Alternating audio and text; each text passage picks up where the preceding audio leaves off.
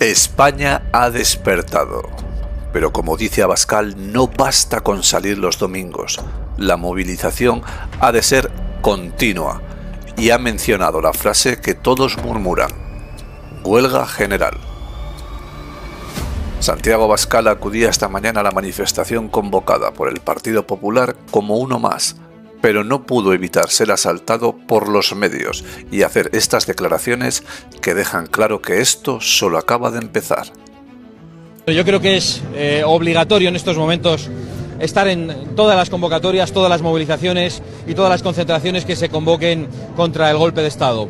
Creemos firmemente que no es el momento de los partidos, creemos que es el momento del pueblo español, que es el momento de la unidad del pueblo, que es el momento de la unidad de todos los partidos que están contra el golpe. Creemos que es el momento de la respuesta institucional allí donde no hay una mayoría golpista. Creemos que es el momento también de la unidad de los jueces que de manera masiva y total se han opuesto al golpe de Estado y no tenemos ninguna duda de que hoy este es nuestro sitio. No tenemos ninguna duda de que a los españoles hoy nos corresponde y nos obliga la movilización permanente y la movilización creciente frente al golpe. Un golpe que hay que detener en los tribunales, que hay que detener en las calles, que hay que intentar detener en los parlamentos.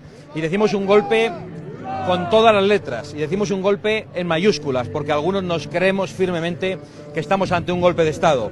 No nos basta con movilizarnos los domingos, no nos basta con hacer unas declaraciones, la movilización no puede cesar, porque sabemos a dónde nos lleva en el tramo final este golpe, o el tirano en el banquillo o aquellos que nos oponemos al golpe en la cárcel. Y por eso nosotros hoy estamos aquí, en la Puerta del Sol, estaremos también en la sede del partido golpista y lo seguiremos haciendo hasta el final y apoyamos sin ninguna duda la huelga general que está intentando promover el sindicato Solidaridad. Pero creemos que todos los medios legítimos contra el golpe es necesario que sean utilizados en este momento.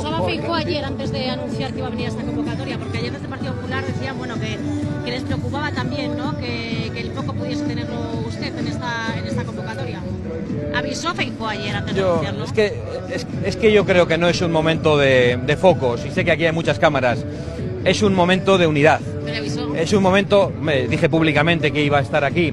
Yo creo que no es eh, el momento de los partidos, francamente. Pero ¿y por qué esa distribución de ir luego ustedes a Ferraz? No entiendo. ¿Por qué se quieren dividir luego ir ustedes a Ferraz cuando se acabe esta concentración? No, no es ninguna división. Creemos que hay que convocar una movilización permanente. Creemos que no basta con movilizarnos los domingos. Estamos de verdad ante un golpe de Estado, nos lo creemos todos, algunos nos lo creemos firmemente. Los jueces han denunciado la abolición del Estado de Derecho, el ataque a la separación de poderes. Se han manifestado los jueces, se han manifestado los fiscales, se han manifestado los abogados del Estado. Es el momento más delicado de la democracia española en los últimos 40 años.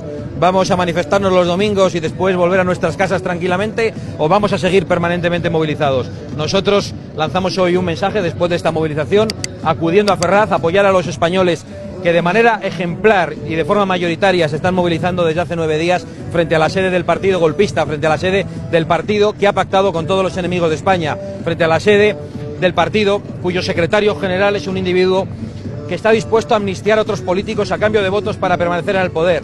La situación es tan grave que creemos que no vale con manifestarse una hora los domingos, hay que hacer mucho más. Ayer disturbios de nuevo. ¿eh? Nosotros hemos dicho con toda claridad que apoyamos todas, todas las movilizaciones pacíficas. Por lo tanto, las que no son pacíficas no son nuestras ni cuentan con nuestro apoyo. Pero también sabemos que Marlasca quiere criminalizar estas movilizaciones, que Marlasca ha provocado los disturbios, que Marlasca y Sánchez son los culpables de la violencia. ¿Y que, que la policía ha actuado acorde con la situación? Creemos que la policía ha recibido instrucciones políticas desde el primer día para reventar estas movilizaciones. No es que lo creamos nosotros, lo han dicho los sindicatos policiales y nosotros estamos de acuerdo con ellos. El presidente pidió ayer que, por un lado, mesura y por otro lado también que reconozcan la legitimidad de, de su actividad. ¿Qué, qué le diría? Ahora, ahora. El presidente se refiere al que El está dando sí.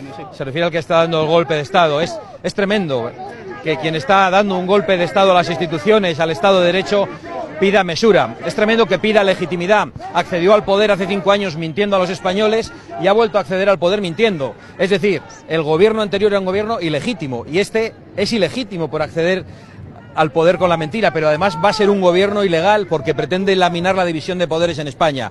Ninguna mesura frente al golpe de Estado, ninguna calma frente al golpe de Estado, ninguna tolerancia frente al golpe de Estado, toda la contundencia y movilización permanente.